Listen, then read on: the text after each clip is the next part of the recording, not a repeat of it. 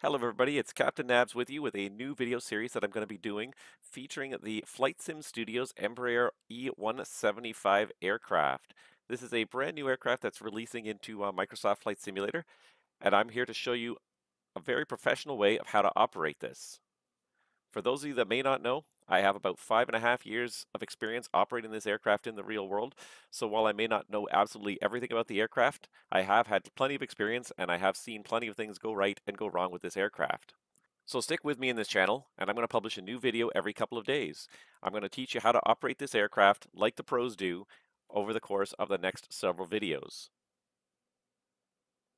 The Embraer E175 is a regional jet powered by two GE CF34 8E5 turbofan engines.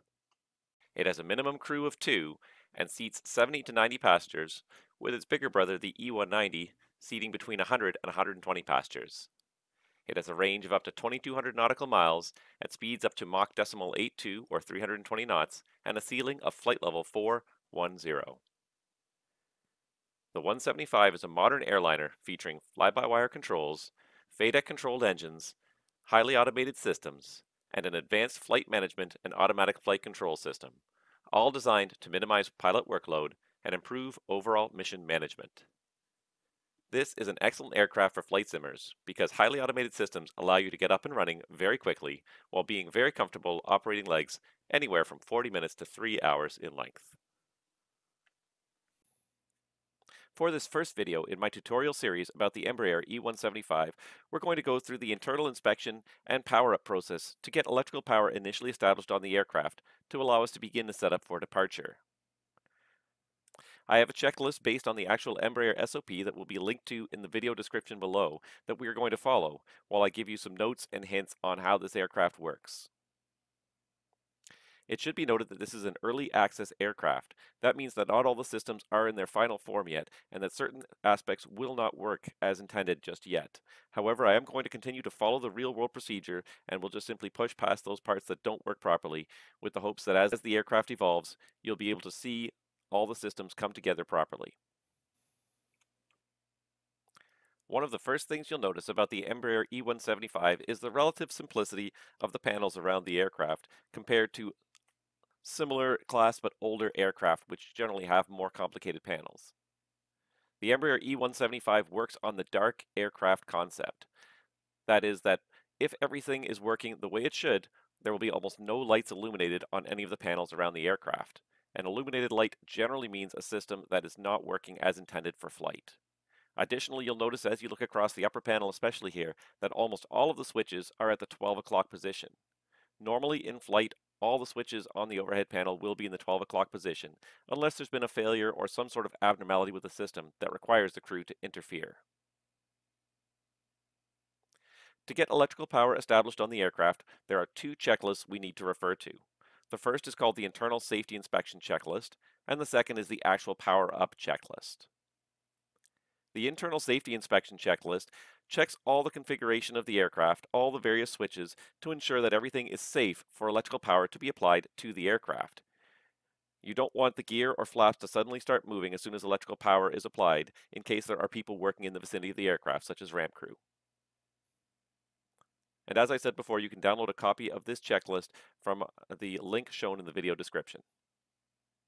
Internal Safety Inspection airplane manuals and documents on board. Check to make sure that all of the required documents as per your company manuals and regulations are on board. Things such as the Quick Reference Handbook, uh, MEL, Aircraft Certificate of Registration, airworthiness, insurance documents, etc. Specific companies will have a very specific list of documents they need to see. Maintenance status checked read the logbook, and check to make sure that everything is functioning as, as it should and that there are no open snags. If there's anything that is snagged or anything that is deferred, make sure you, that you review it and you're aware of the limitations of any unserviceable items. Cockpit emergency equipment checked. Check to make sure that all the required items of cockpit emergency equipment are on board the aircraft. This will generally include things like a fire extinguisher, crash axe, oxygen masks, PBE, escape ropes, etc electric panel set. The electric panel is here on the left-hand side of the aircraft. Make sure that everything is set correctly. The generators, IDGs, should be in the auto position. The GPU button should be out. AC bus ties should be auto.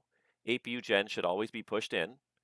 TRUs 1, 2, and TRU Essential should all be in the auto position.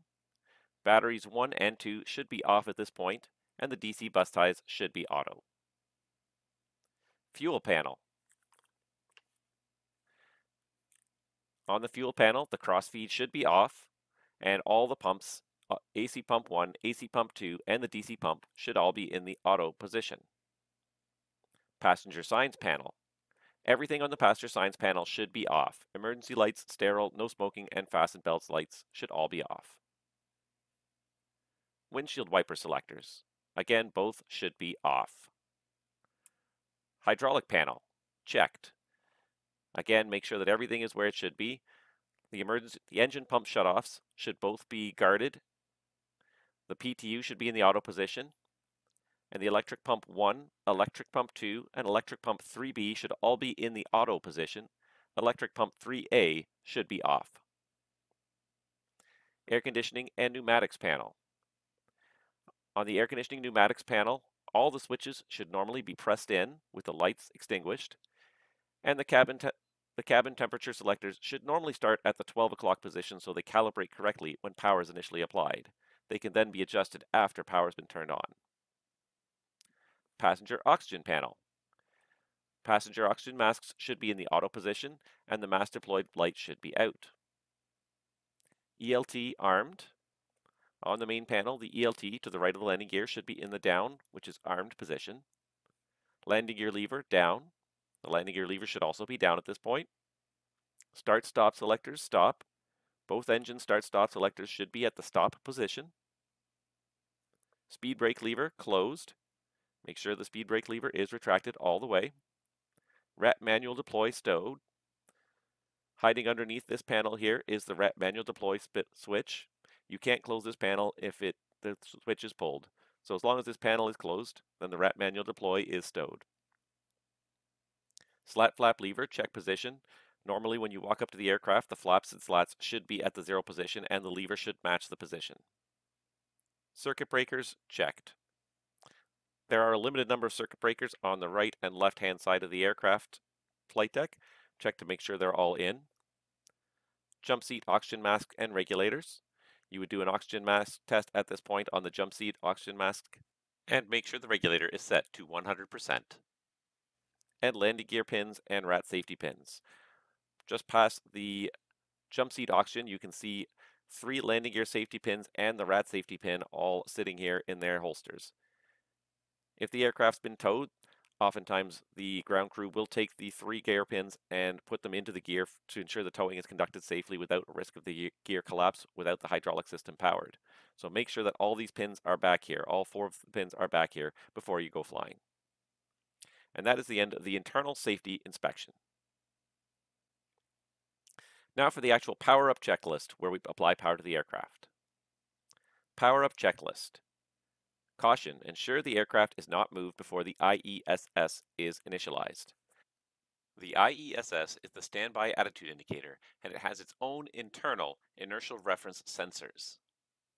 There is no way to reset this once power is applied. It is always powered as long as power is on on the aircraft. So you have to make sure the airplane is not going to move during the alignment process for the IESS.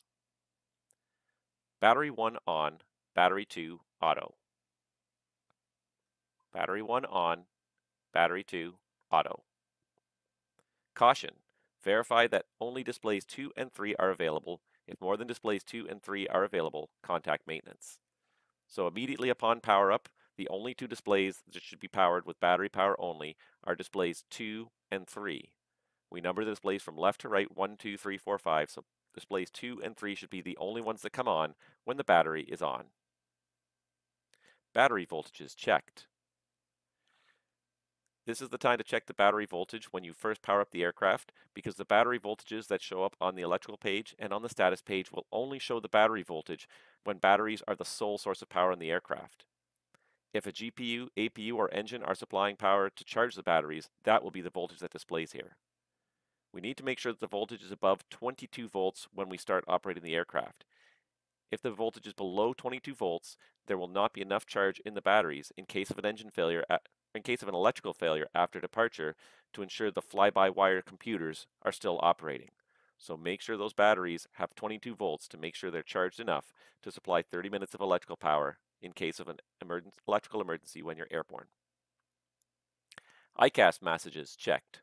Check to make sure that all the EICAS messages are as they should be for this stage of the flight. Right now we have battery 2 and 1 discharging, emergency light not armed, yaw damper off, and steer off.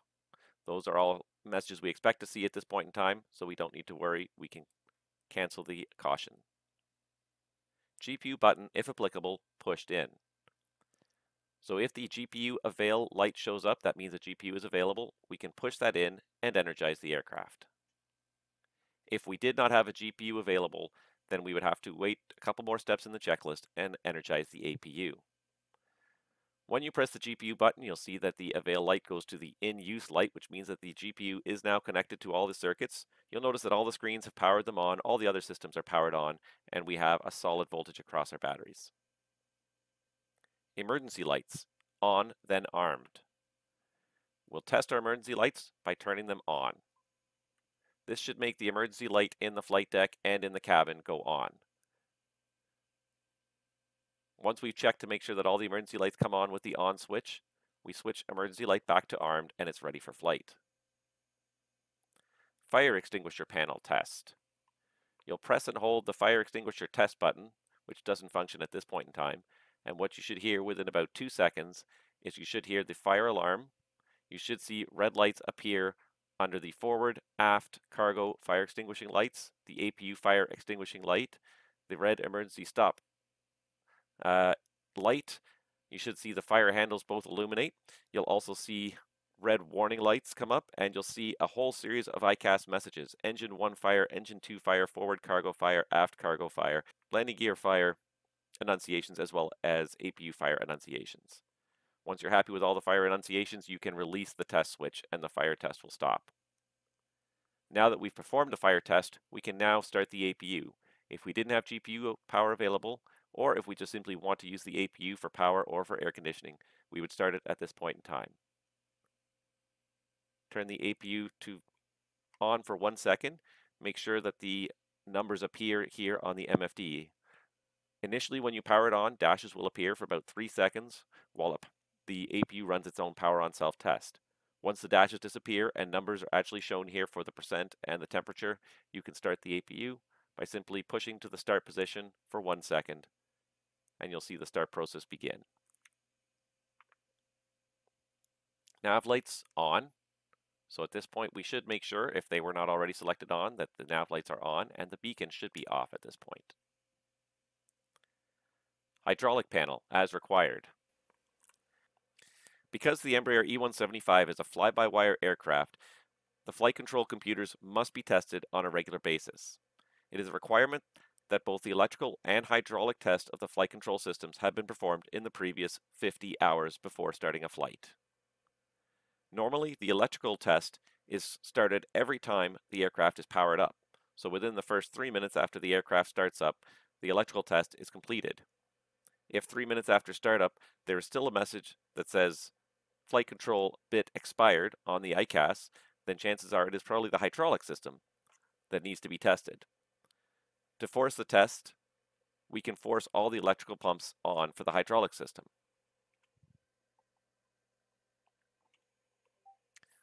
So for hydraulic panel checked, what we do if the hydraulic bit is expired is we power on electrical pump 1, 2, and 3A, all to the on position. This will force the flight control to start running their self-check. This takes about 60 seconds and once the test is complete, the EICAS message that would have been displayed, hydraulic bit expired, will disappear. Once it's complete, you can go ahead and put the 1 and 2 pumps back to auto and the 3A pump back to off. Electronic CBs. The Embraer E175 features electronic circuit breakers that are stored in the avionics bay. These are not directly accessible to the flight crew, but the, the status can be checked and cycled using the MCDUs. Simply press the CB key and you'll see what circuit breakers in the avionics bay have been tripped or if there are none out, you'll see a message to that effect. As we see here, no circuit breakers out and locked. DVDR control panel, checked. At the very top left corner is the DVDR control panel. Press and hold the DVDR test button for at least three seconds. If the DVDR has passed their self-test, what you'll see is no message on the EICAS. If after a three second test they have not passed, you'll see a warning message on the EICAS.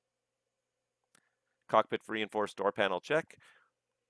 We are not going to check the access control system for the flight deck for security reasons. And photoluminescent strips checked.